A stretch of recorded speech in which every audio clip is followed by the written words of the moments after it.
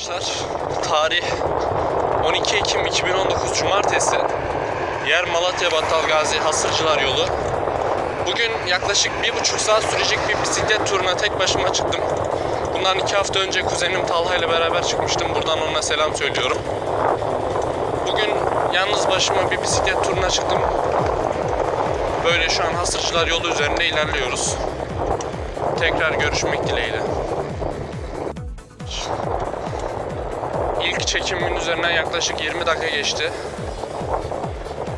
Şu an hala Hasırcılar yolu üzerinde devam ediyoruz. İnşallah Boran Toygar üzerinden yine eski Malatya'ya dönüş yapacağız. Tabi bu sırada gezeceğimiz bazı yerler olacak. Tekrar görüşürüz arkadaşlar.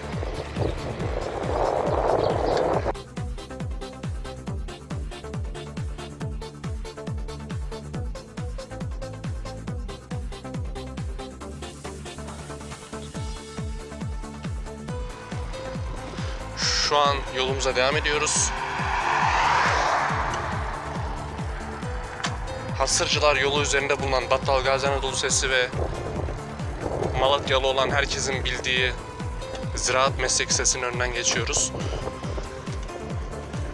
Bugün hava eski Malatya'da güzel, hafif rüzgarlı ve güneşli. Sonbaharın tadını böyle çıkarıyoruz.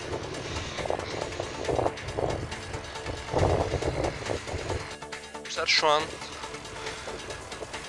Maski İleri Biyolojik Atık Su Arıtma Tesisinin bulunduğu yola doğru giriyoruz. Burada İnönü Üniversitesi Battal Gazi Kampüsü'nün spor salonu ve Ziraat Meslek Lisesi var. Yani Fırat Mesleki Anadolu Teknik Lisesi. Buralar gayet güzel. Bence yani Malatya'da yaşayan herkesin görmesi için güzel yerler.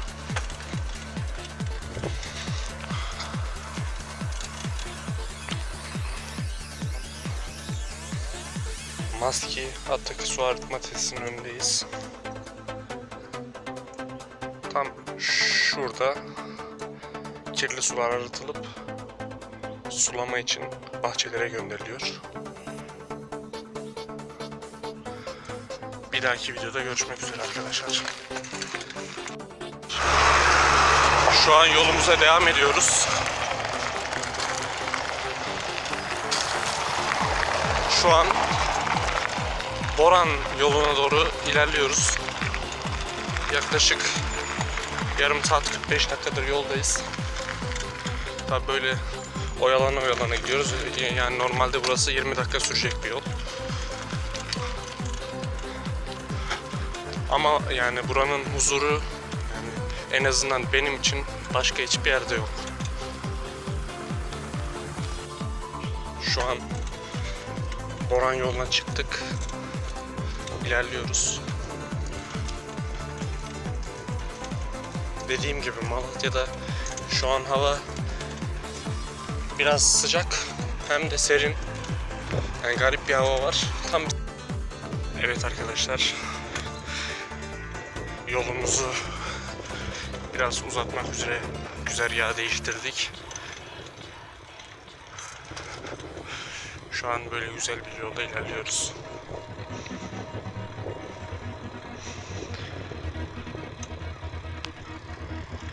Evet arkadaşlar.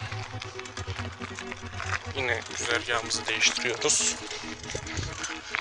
Böyle çakıllı bir yola gireceğiz. Altımda bulunan bisiklet daha çok şehir içine göre tasarlandığı için bu yolda biraz zorlandım. Yani bizim buralar çoğu yer çakıllık ve yol çok düzgün değil. Gerçekten zorlandım.